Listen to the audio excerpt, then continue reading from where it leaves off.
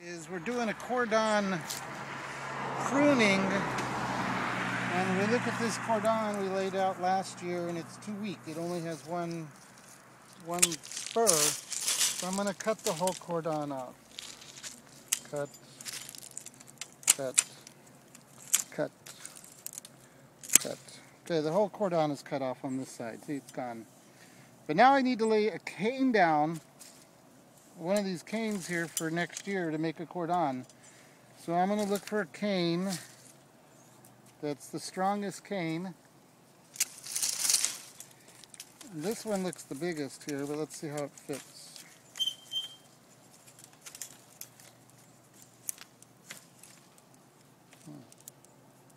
Yeah, that looks like it's going to make it, see?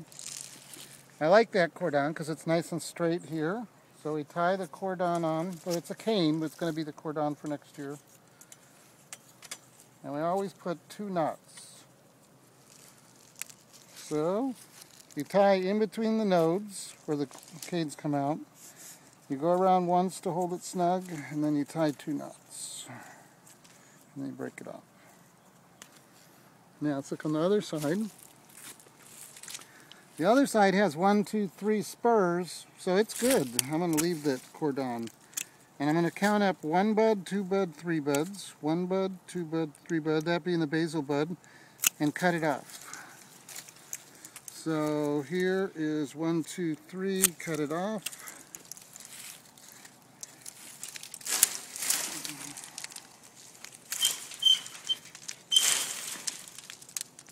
And then uh, this is a nice long cane.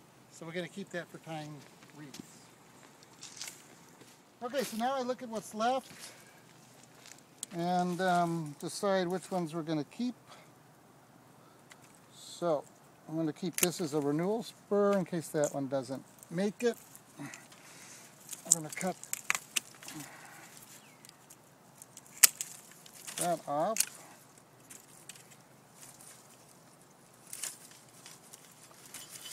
Okay, now what's left is a bunch of canes sticking up.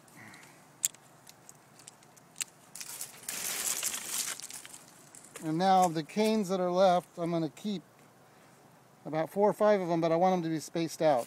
So this one's too far down, cutting that off, and I'm going to keep this one. So I count up one, two, three buds. Got that's a spur. And then this is a spur here. I like this one. So I'll cut this other one off. This one right here is pointing toward close to that one, so it just gets cut off.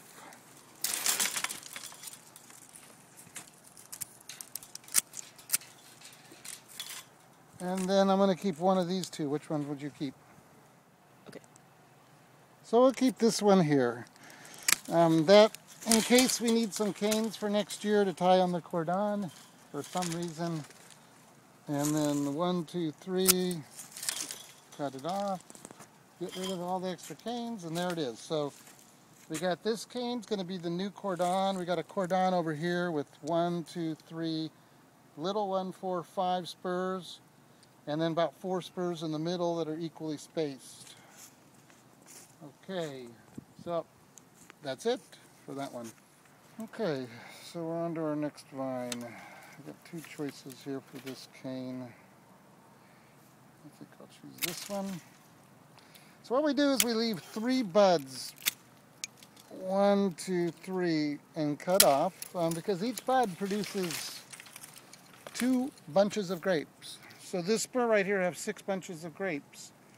So what I do is I choose um, enough spurs so that the vine will have the correct amount of crop.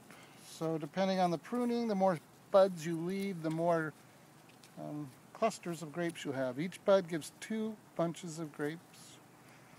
So you can count like this plant here has 1, 2, 3, 4, 5, 6, 7, 8, 9, 10, 11, 12, 13, 14, 15, 16, 17, 18, 19, 20, 21, 22, 23, 24, 25, 26, 27, 28, 29, 30, about 32 buds.